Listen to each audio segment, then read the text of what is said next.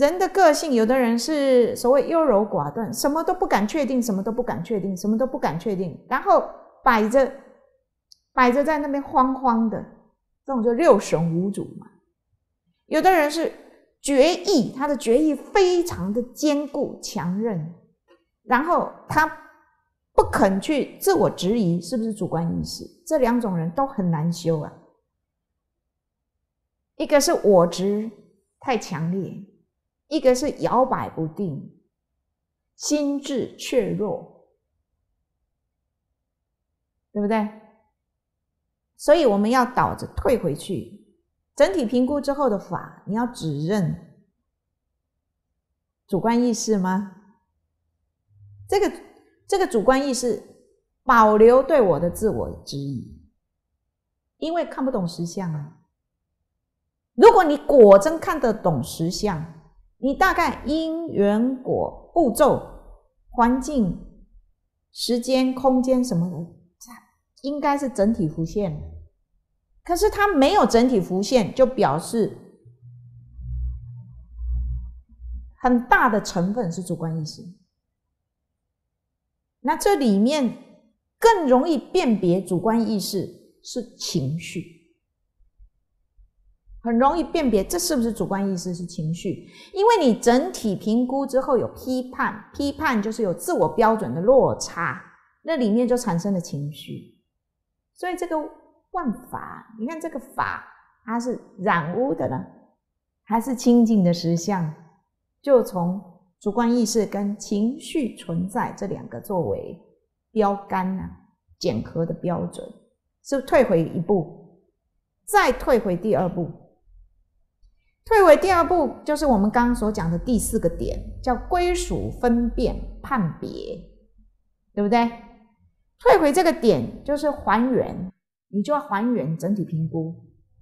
刚刚是不是你以为你整体评估其实是局部，其实是局部，但是我们在内心是把现有的资料库作为整体来运作，事实上它不是实相的。所以你还原真实的整体评估，那看看是不是欠缺全面考量，而只是局部，是以局部错认为全部。一个人，当你愿意再退回一步，退回一步来以局部不把它定义完来看全部，你就会发现。每个每个人的不一样想法，跟不一样能力，跟不一样看法，跟对这事情的不一样解决法，哎，诸多不同，对不对？是不同的，就法法平等了。这个时候就法法平等，所以这是不是第二个退回？那第三个第三个退回就是重新调整跟涤除。以自我立场考虑的利害取舍，因为我们刚刚讲与主体关系的结构，一位之一一根嘛。刚刚讲一二三，是不是一一位到一根？所以这个时候你要重新涤除，这是不是我的经验值跟我的结构？这里面是我的立场做考量，我的利害关系。它这里面一定有对立，它一定有一个二分法，不一定说强烈的对立，它可能是一个族群，那也可能是一种想法，也某一种啊理论，但这里面呢，这里面呢是以自我立场的，还是融通的无对立性？这个时候，刚刚的情绪抽掉了。以局部假设为全部，又理性的还原，还原之后再回到这里，看到那个对立跟冲突，内心的自我检核，这个时候可以无我嘞，这个地方可以无我嘞，因为我们一般的运作都是主体关系会有一个习惯连结。就是用我的定义来定义，用我的角度来思想，它是一个习性，那个就是具生我执。所以要把这个净化，净化这个事，净化这个东西，因为在重新调整的过程，你就会拔开跟主体关系。现在举个例，有一天你去上班，公司贴出来一个公告，下个月即将裁员二十人，名单还会列，还未列出。然后现在在做机，嗯，这叫什么？机核考机呀，考机评估，包括年资的评估。你看到这个之后，产生什么？第一个念头，第一个念头是什么？他们习惯是这样。你会不会去第一个念头？啊，公司特别多啊，可怜啊？不会。第一个一定，干嘛习惯忧虑自己为先，忧虑公司为二，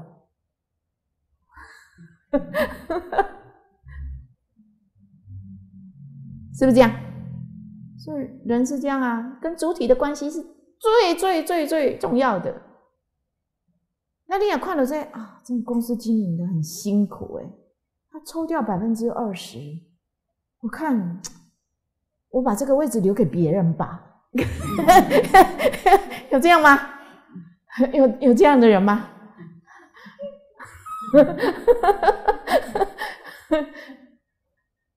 如果你刚好要退休，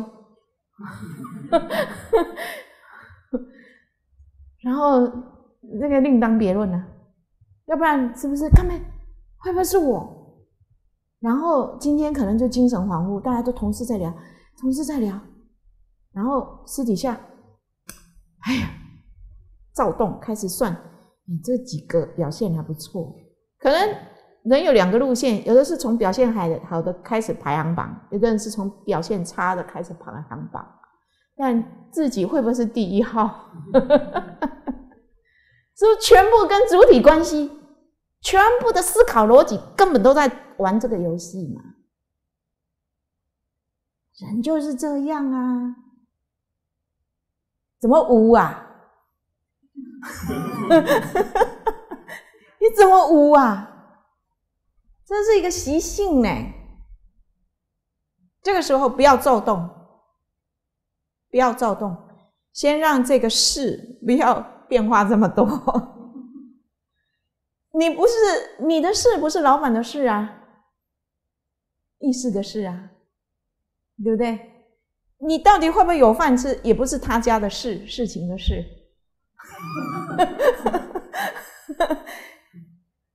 这个上面先不要让自己的事波动太多，那你可能才能从这个这个事件中不产生风暴啊，那你就直接进入台风眼了。这个上面就是拔开。拔开跟主体关系的习惯连接，然后回到清净受，看这个公告栏的这一件重大抉择，那如何力挽狂澜？如何有新的方针来帮助老板，让这个公司有一个突破？还是？就着自己，要用什么办法来保证我的存在？这方向不一样啊，是不是方向不一样？一个是以公司为考量，让老板改变这个心意，大家减薪共度难关。所有一切的人都拿百分之八十，或是百分之六十，可是平均分分配都有，这是一种。那另外一个是如何来保证我的存在？然后忧虑，当然这方向很多，是不是每个人都不一样？但先回到清净受正见，你用正见去看，正见就是知因缘果，知苦集灭道，知可修行，这是佛所说的法印呢。回到清净的正见。正思维，正思维之后，再起而行。啊，他最终的答案是什么？一定透过重新认知跟了别。虽然那个认知了别，是不是最初的时候你一定有认知跟了别嘛？当你看到公公布栏的这个这个抉择的时候，是不是有第一个认知跟了别？啊，那个认知跟了别，是不是一下冲到最后，是我吗？是不是一一路冲过来？你现在退退退退退退回去。在认知跟了别跟跟成对的，其实很单纯，而是实相观，也就转那个事啊，转那个事，实相观就是智，是不是会再退回去认知跟了别？因为你矫正认知嘛，你开始的认知其实只有一个点。那个点直冲，就直冲那个自我保护。那现在是不是再回去重新认知了别，矫正认知，转世成智？了别的时候是没有是非的，做分析，是不是只关注做完回去了？如果你没有。对自己生命的所有一切做过，嗯，细部的、真正的去把它看明白，怎么来，怎么去，你怎么修正它？终究佛法只是指导原则，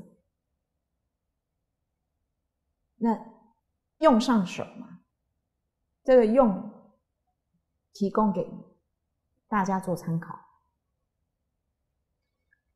那在这个经论里面呢讲啊，意，这是意识心王，就是那个觉性啊。那我们这个结构出来的东西就叫法嘛，是不是？意对法，我们是清净的时候，它就叫正等正觉，实相的。这个毕竟空实相的道理，就不叫法，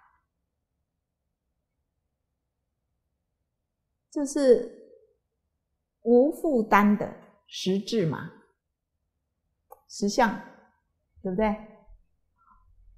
那我们凡夫是处在有根尘相对，我跟意识夹在中间的状态，所以《心经》跟我们讲啊。我们对于精神层次执着的人，从五蕴这样去修嘛。如果我们迷色，就是六根啊，在这上面波荡很大的人，就以这十二入。这十二入里面，其实一定有碰到意识，但是比较针对于个别个别这一界来修持它。我们都是拆开给他讲，其实还要合并嘛，对不对？那如果呢，我们对心跟色都明，就是物质波荡，呃，物质看到之后，内心啊解释定义波荡很严重的人，要讲的更细了，就讲到十八界，也就下一句经文：无眼界乃至无意识界。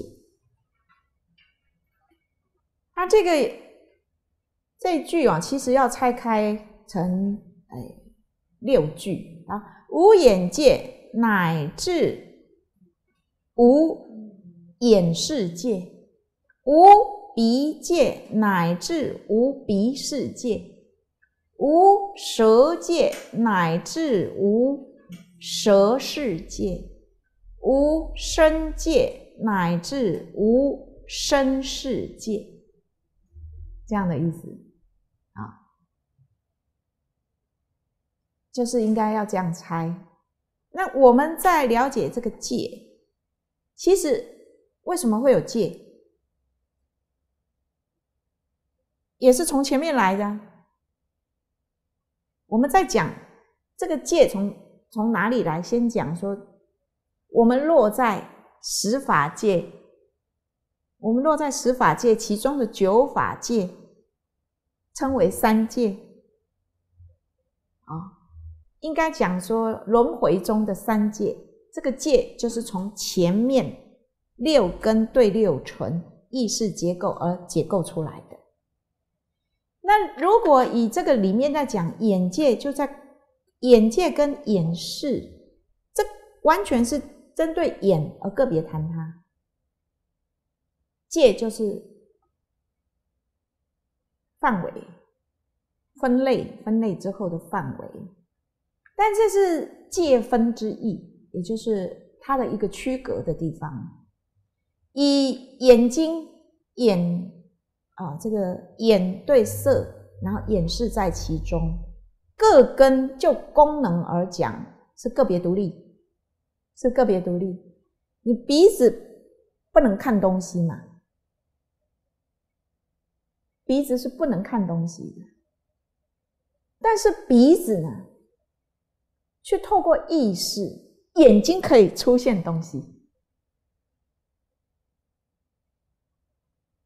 所以它个别独立，又联合互补。来，同学，你眼睛闭起来。你有闻到香的味道吗？前面有一个香炉，你看到了吗？刚刚的还香，你知道吗？那香炉什么颜色？你记得吗？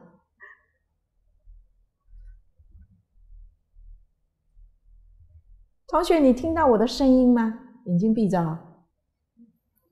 同学，你听到我的声音了吗？师傅坐在哪里？你看到了吗？师傅穿着什么颜色的袈裟？你知道吗？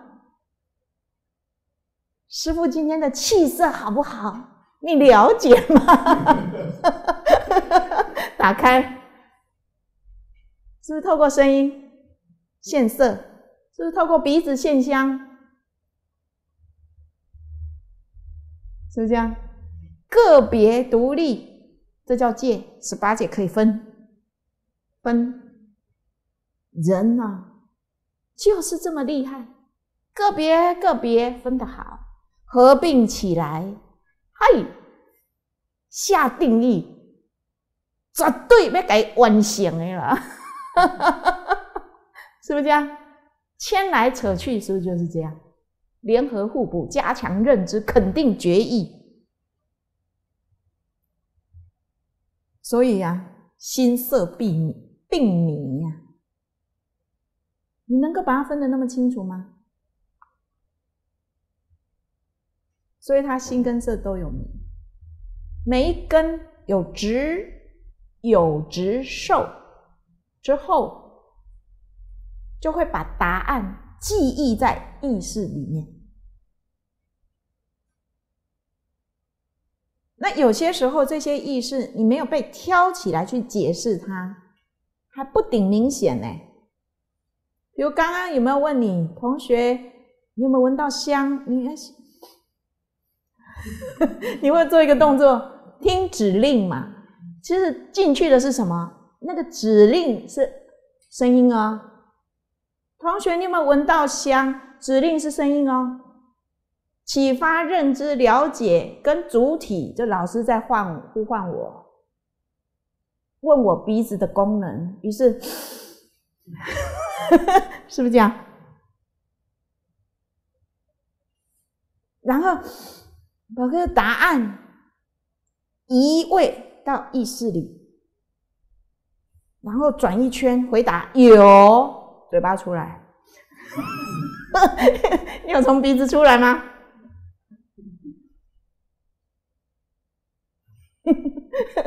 是不是这样？串联的厉害啊！所以异世界把各根尘相对的答案交互比对、连结，产生法，决议归档，决议归档。那可能还浮在里面，有没有闻到？有没有看到香？有没有看到师傅坐在这里？全部都有，有，有，有，有。师傅，我看到你了。小朋友，你要叫他闭起眼睛，哇，那个超连结呀，是不是可以超连结？你老了想象力不好，有时候还连接不好，是不是？那有的人是超连接的，那这些连接哈起来，如果还没有归档，还没有储存到第八意识强烈去决议他的是非善恶与我有关的自我保护之前，你可能还是停留在第六意识，但中间呢，第七意识已经浮上台面，帮你做了好多的工作，这里面呢。出来的东西有自我的，当然里面有理性、非理性，也有可能是无我的，纯属平等知识层面，还有可能是无记的，对不对？这是不是又衍生出佛法的佛法的一切内容？那所谓一切由心造嘛，如果我们知道啊。上至佛界，下至地狱，这个十界都是众生的一心所造。就在你每一个当下结构了什么样的因之后，现前在这个结构当中，就会进入到某一种层次上面。所以，如果我们六根呢，懂得如何。来守清净真如啊，那六尘那即是法界缘起啊，就不会有所谓的六境，啊当然也就不会谈到这些戒不戒的问题。所有的一切就是清净大光明藏。那众生呢，如果没有办法了解，那回归之后，我们也知道。其实我们每个人跟佛一样啊，这清净的觉性是平等无二的。如果我们能够在十八界里面，也就是根尘相对的时候，用平等观来修，这样是整体的，整体上去抓一个总持啊，那这个十界一心就平等了。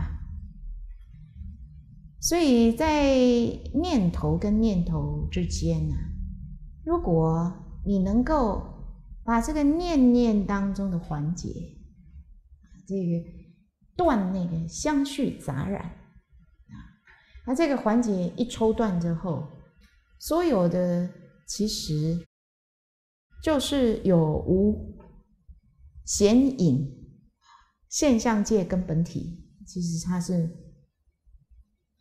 没有什么两样的。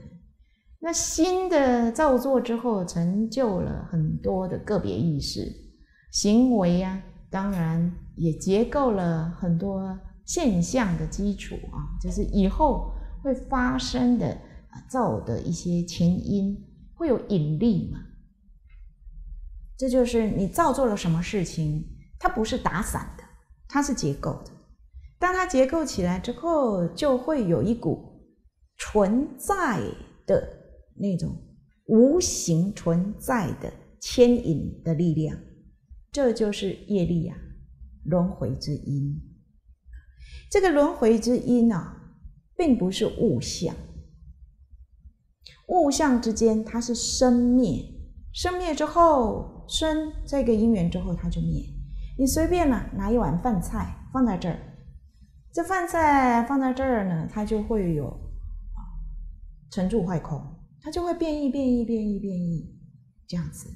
所以，真正的业力牵引，是在讲无形的意识结构之后。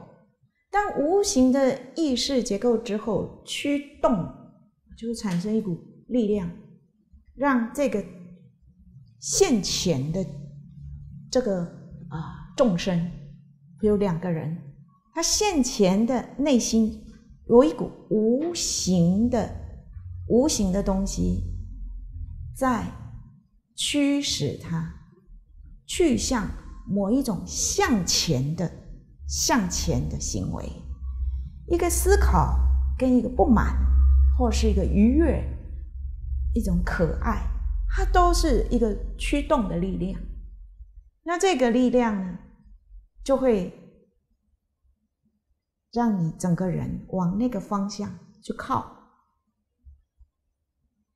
众生就是这样，所以这个意识的层次是借由六根六尘之后结构这个法。上次讲很明白了，所以这个意识放在里面，就成为一种引力、牵引之力呀。这个一定会还原现前，就像说我们有很多东西是重重叠叠一直堆上来，一直堆砌的。这件事情我很开心，等一下那件事情我很不开心，在这个开心的背后又叠上一，呃，不开心又叠上一个开心，然后喜怒哀乐一直重重叠叠、重重叠叠、重重叠叠叠在一起。它只要因缘和合啊，外缘有这样的，这里面是一个无形的痕迹呀，无形的痕迹。当外外面的环境里面。与这个有某种雷同，它是无阻隔的，无阻隔的马上会汇集，然后从中这个重重叠叠里面，自然呢，它就会自然把这个引出来，那引出来就结构了下一次。那这中间又会产生一些现象，很奇特的啊，很奇特的排列。讲这排列啊。比如说，你本来跟这个人缘是好的，那一阵子之后，你结构的缘就不好了。这个好与不好放在你的心中，最后你还是会给他做一些总和，好与不好哪个强？当哪一个意识强，下一次见面的时候是那个强先发，也就是最后。我跟他其实是很好，后来有一点不好，但我的心中一直惦记着我跟他好的那一块。以后碰到这个人的时候，第一先好，就是对他很有感觉，是好的。好的之后，怎么慢慢走走走又不好了呢？这种就是一种呃过世呃呃过去情节的一种翻版。那有的是。开始是好的，然后最后结构是很不好的。那很不好的状态之下，你最后评估自己内心很厉害，他都会自己自动去做排行榜，自己去掂那个重量。好，很不好，很不开心。来生来世碰到这个人，一下就是就是我很讨厌他，因为那个墙，而那个墙的分量啊。讨厌他，然后这中间又没办法抽离，那个缘要走完了，所以这样因果因果啊，因果论啊，因果是平等的，它都会还原这些东西。你不信的话，你试试看就知道。你真的试试看，你跟某一个人开始是好还是不好？那最后呢？呃，有的人是此生此世见到某个人，开始那印象超好，就好像他是我呃千百年前啊在等待的相识的某一位人士。可是相处之后，怎么越发现这千百年前啊这样这样期待再相逢之后，怎么又结构了那些让人。非常难过的情节。如果一个修行人，他把这个重量，就是好的跟不好的两个有始末对待关系嘛？这始末对待关系，最后站在此时的遗憾，答案就是此时的遗憾。那站在这此时的遗憾，就变成跟这个人就拉开了一个不再相逢。的一个念头，像这些啊，都是呃继续轮回的无形的钩子。所以修行人他不不要有始终对待关系，也不不可以有那个期待回到从前，或是等待修复的那种心。我们一般凡夫都会有希望能够回到从前，有没有？你回得去吗？真正的从前是空，真正的从前是没有的，它是宁静的。那有的人期待修复于未来，对不对？期待修复于未来，就相约菩提道上，那么叫同参道友，共振菩提。如果期待修复于未来，是带着所谓意识形态的。平凡、平复的话，那么轮回路上就再演一出不一样的戏而已，就是因果论再演一次。所以像这些啊，修行人他是在意识，不管你过去结构啊，他的故事情节好转坏，坏转好，最后都要回归不好不坏，然后回归到空，这是大原则。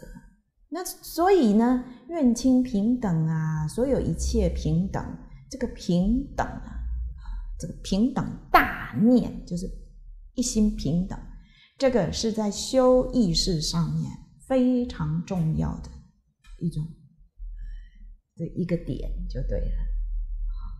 那大家都知道三界为心嘛，欲界、色界、无色界，有的人会着重在物质。那着重在物质，那就是六根太活泼了，色身放不下，对不对？有的人会着重着重在精神，那就是五蕴里面的，那内心总合起来的感受意识的这些东西。那这些呢，都是让你落在三界中的，三界中的筹码。好，所以。如果你能够在五蕴就能超脱，那么六根就不是问题。如果五蕴上面没办法入空，那么就从六根对六尘十八界来来谈嘛。那这些呢，都是对于啊这众生的根气不同，在经论里面啊有谈到迷色众那。就最主要就要讲啊，对，呃，根嘛，对不对？好，那如果呃色心啊，就是色跟心两个都很迷糊的人，就开始八戒。那如果迷心重的人啊，就在讲心法，就开法尘为主，六界里面啊，开心为六界及法尘中心所法啊，最主要是。着重在这个一根。那同学，如果说我们修行常常做一些功夫了，你功夫哦，能够当下当下，其实都没有后续的戏呀。色受，我们讲五蕴的时候，色受的那个受，保持清净平等受，那很快啊，清净平等觉观嘛，对不对？那想行识，那就是菩提分呢，就是菩提分呢啊！你的想就是正思维啊，正觉正观嘛。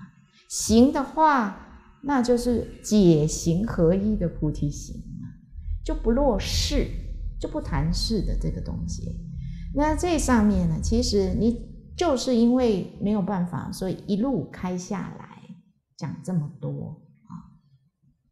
那如果说我们眼对色啊，上次有讲啊，眼对色啊，耳对声啊，鼻对于嗅觉的，舌对于味觉，身对于触觉，这上面我们各自提解一下。一般我们是设定这样，就是你哪一根不好修，是从那里下手，对不对？给同学做一个建议，还可以用转移法。转移法就是说，我眼根不好修，但我现在修鼻根，用转移的，就是说，只要鼻一动的时候，我都集中在观察鼻。当你集中在观察鼻的时候，你的眼根就自然会比较钝。听懂吗？啊，比如说我舌根。我舌根一向是没有问题的，舌根不带会起烦恼，那你就挑一个舌根来修，然后你的耳根跟身根就会比较钝，然后这个模式呢，这个模式有大突破之后，你会发现其他的东西你都好对，这样知道？但基础上啊，有的人他是。转也转不过去的，所以你耳就只只得一直在耳里面跟他交战，对不对？那这个起伏啊，成功跟失败的率哈，那个坡啊，那个坡很大，过跟不过，有感情跟没感情的那种冲突性很大，这样知道？所以啊，因为我们比较钝，所以建议你用次第法，啊，就用自己的办法去。磨练看看啊！接下来我们下一段经文：无无明亦无无明尽，乃至无老死亦无老死尽。好，那这经文呢是很短短的，是要了解它却长长的。同请同学翻开我们的这个要事跟表姐第三十四页，因为心经啊，它直接讲头跟讲尾啊。无无名，事实上是无名原形啊，行原事十二支啊。可是他直接就把那个最后的标题标出来：无无名，亦无无名尽这回事，乃至无老死，一个是头，一个是尾。那我们没那么立根，我们就是要把中间给说出来，这个十二因缘法。十二因缘法的成立，是因为基础于八事有，才讲十二因缘。如果你没有八事，第八世阿赖耶识，不用谈十二因缘，因为阿赖耶识有种子才谈无名，这样了解意思。所以以无名的修法，为什么排在为为什么排在六根之后？如果说你六根能够突破的话，你就不累积八识田中的种子。那圆觉或是所谓独觉修十二因缘，是因为，呃，以独觉的话是没有佛住世，也就是并不从五蕴啊，五蕴佛有说五蕴跟四圣谛嘛，苦集灭道，苦的感受是一定会有的。然后会类推即修道而灭苦，对不对？啊，这个道法是佛所开出，所以声闻尘很很有福报，有世尊一一的告诉你办法，对不对？那以独觉尘的话，他没有啊，没有佛住世，所以他要从自己已经有的变化中感受里面去依现象而推出去。所以佛当时自证悟是有十二因缘物，然后佛慈悲消化吸收归类之后做了整理，跟我们讲苦集灭道，主主纲要。那如果你独自一个人都没有前提，没有一些讯息，你就从十二因缘里去推，然后推就可以有呃一些明白的地方。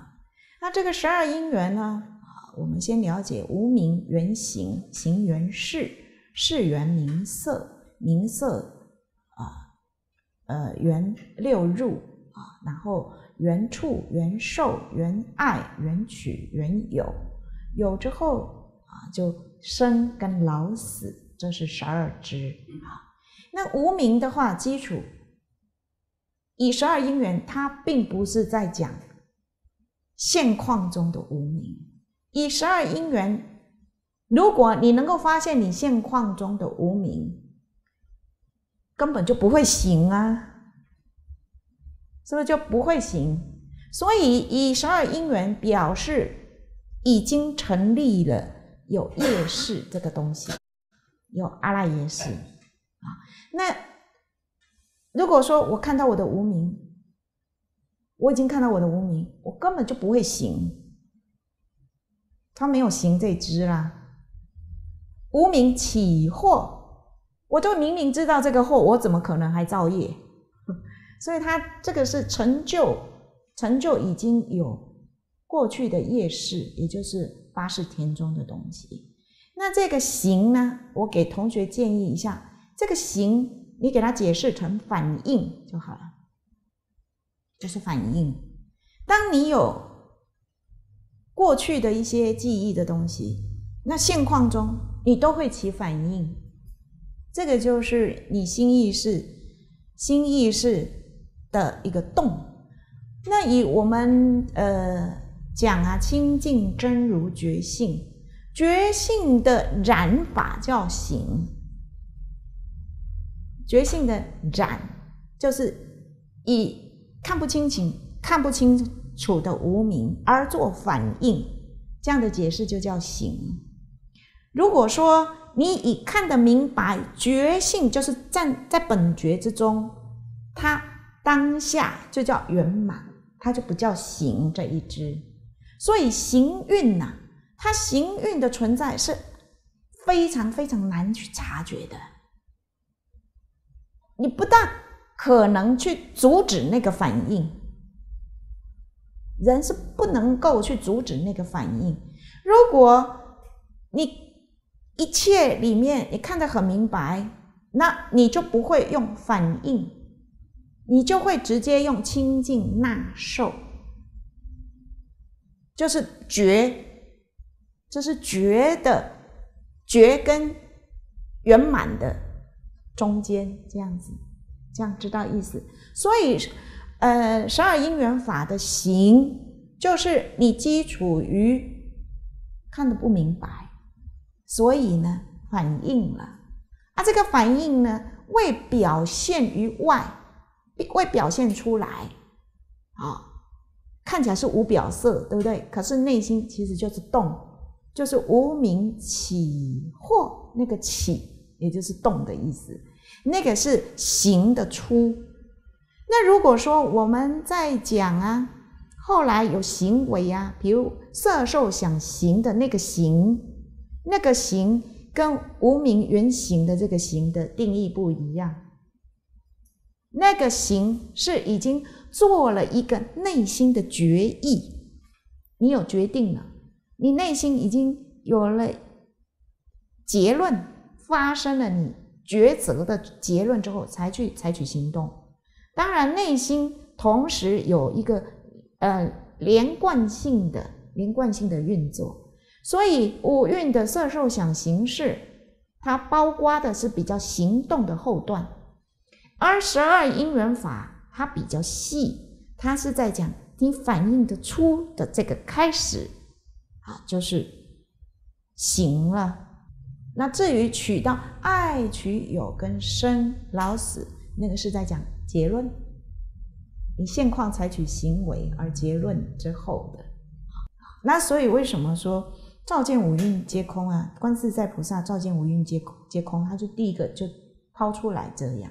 你这个完成之后，这个事上面就没有了，你就没有堆砌那个事啊，没有堆砌那个事，它就不会累积而后的种子嘛，就没有八世里面的种子，以后哪来无名？每个当下都明了，这处理完了嘛，哦。这样子，OK，那我们再来讲行，就是反应，在十二因缘法的行跟前面的五蕴的行是不一样的落点啊。那如果说我们这个事啊，业种发誓牵引投胎，如果说我们呢这个事就是基础于过过去的呃资料库，这个事呢。如果我们把它分在此生此世，说哦，我投胎转世这个是这个是一三世把它连贯起来看，我们现在只修单一世就好了，现在不用讲过去了，只修单一世，你不知道你的资料从哪里来，可是你的资料库却那么饱满，对不对？